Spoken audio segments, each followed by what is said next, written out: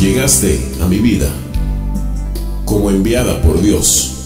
He pensado que el ángel de mi guarda de alguna forma en ti vida cobró. Estás ahí cuando mis fuerzas se opacan.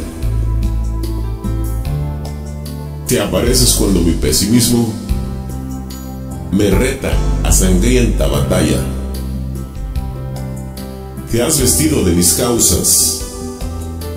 Has tomado mis defectos como bandera. Le has enseñado al mundo que un hombre triunfa si una mujer lo desea. Tus mimos y tus halagos son los trinos que me despiertan, mas tus acciones me reclaman que soy yo